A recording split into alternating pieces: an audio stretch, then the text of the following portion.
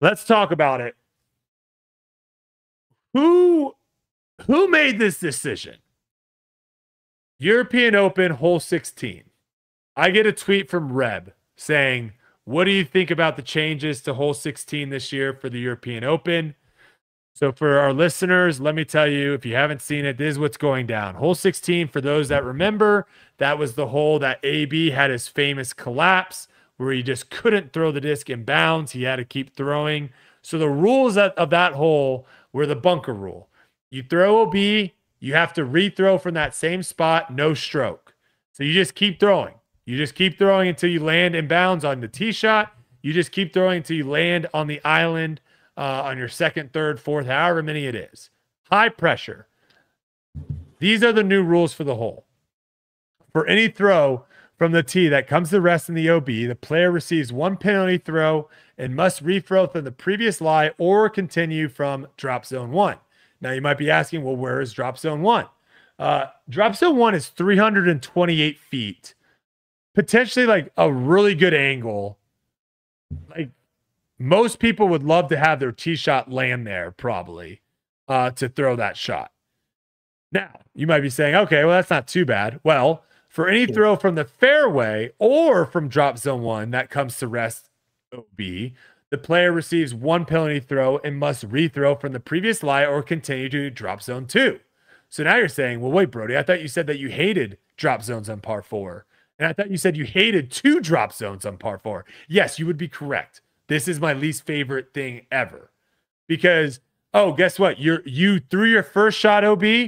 Oh, don't worry. Go to this drop zone. Oh, you threw that third shot OB. Oh, don't worry. We're gonna give you a putt for bogey. You haven't thrown a disc in bounds, and you can still save bogey with a 45 foot putt. What are we doing? What are we doing? Yeah, I, I, I cannot fathom why you would take one of the one of the most electric moments from all of last year and say, you know what, we don't like that. We don't want that to happen. We want to make this hole easier. I mean, the there's something about hole 16 down the stretch of the European Open that you as you as a player, I mean, obviously pros have different mindsets, but like you always know hole 16 is looming. And there's a chance that you could just take a number yep. that you don't expect on that hole. And yep. it it changes the way you have to approach the rest of the round. You have to stay aggressive and stay competitive because you can't take your foot off the gas and go into hole 16 with a one stroke lead. You got to go in hole 16 with a two-stroke lead or a three-stroke lead. And especially after last year, it's it's going to be in everyone's mind. It's like the perfect year to see the drama on this hole is after we get the drama last year because now the hole has more teeth because of what it emotionally did to everyone last year.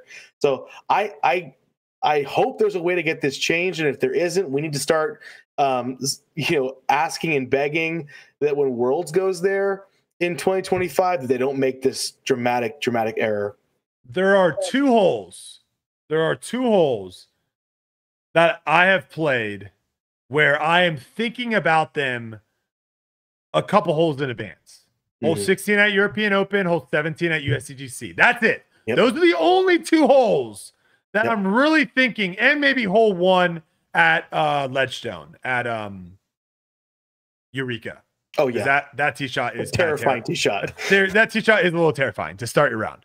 Um, but outside of that, there's really no holes, and I'm trying to get this through people's minds. Sports are supposed to be difficult. We are supposed to see people put in difficult situations and and be able to figure out a way to get through them we keep putting on these kids gloves and being mm-hmm. like, oh, we don't want to hurt anyone's feelings. We don't want anyone to actually get through any trauma. We don't want, and we start making disc golf too easy. We're disc golf is already too easy. Stop making it easier. What are we doing? Stop doing that. Yeah. Like the- we should have every hole. Imagine, imagine a tournament where almost every hole played like hole 16. Mm-hmm. Where you uh, imagine what would happen players would break down and have nervous like anxiety attacks. There, I mean, look what happened at Northwoods. Look what happened at. Northwood that one year. Northwood has the most DNFs out of any other tournament. Is it because people get uh, their fingers cut? Is it because people get uh, their ankles? To- no, it's because people say, "I've had enough. I can't do this anymore. I'm out." This is what disc golf needs. Get the softies out of here and let the best players play on the hardest courses, on the hardest holes, and see who comes out winning. Yeah, the part that's the most egregious to me is, is this isn't just a regular tournament. Like this is a major. This is supposed to be the best of the best.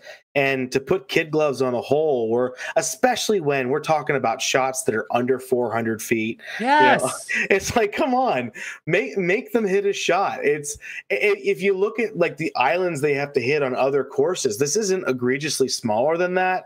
This isn't more difficult than that. Like, it's it's going to be a sad day um, to to be.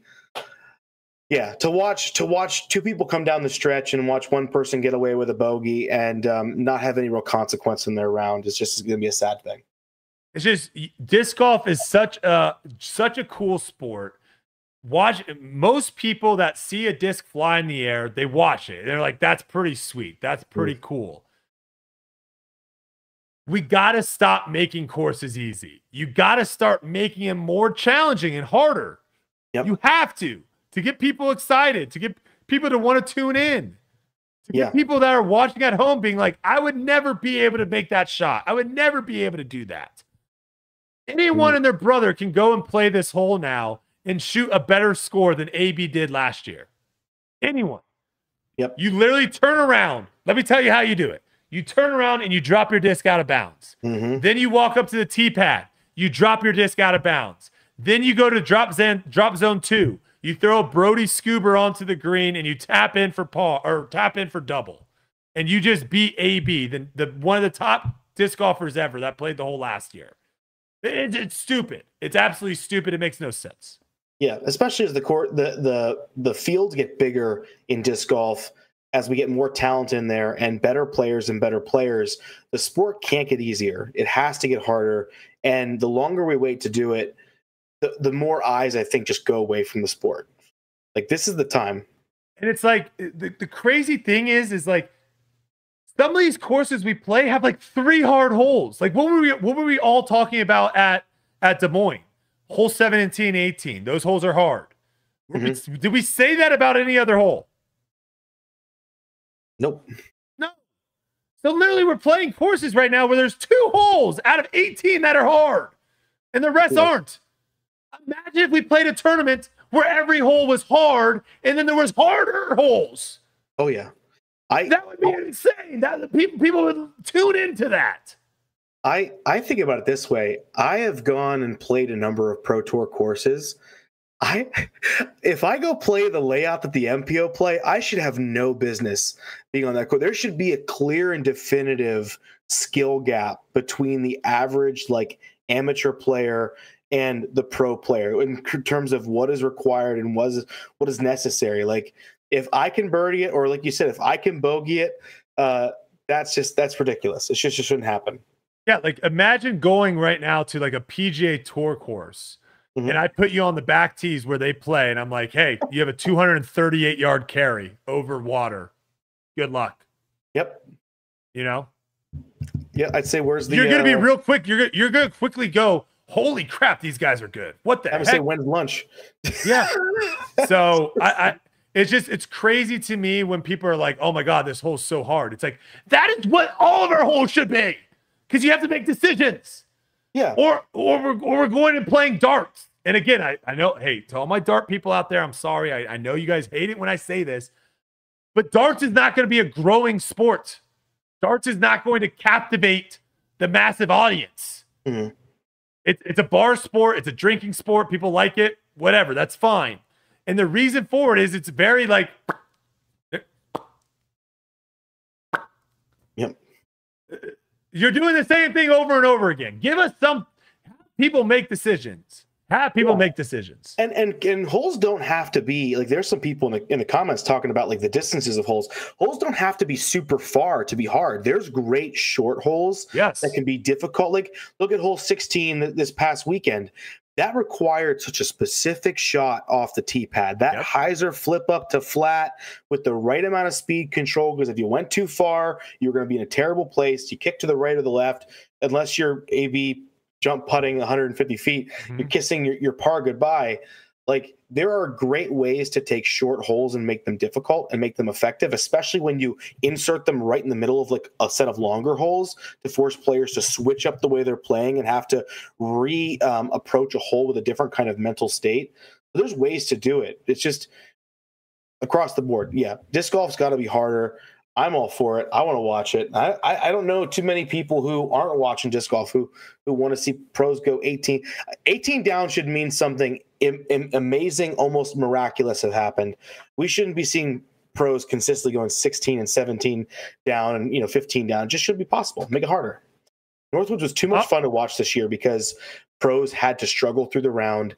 The scores were tight. I loved it. I can't wait. I'm actually going out and playing uh, MA1 at Ledgestone this year, and they're giving us Northwood. I'm so excited to get my get my lunch handed to me.